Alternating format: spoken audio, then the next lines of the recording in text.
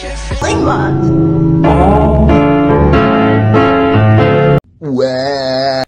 what's up, guys? Wifty here. Now, I want to give a little disclaimer.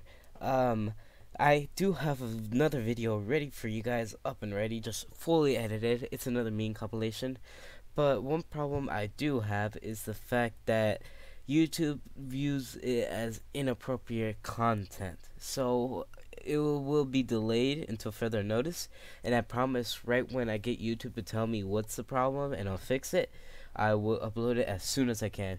Anyways, thank you guys so much for being with me, and thank you so much for the 3,000 views in my last videos.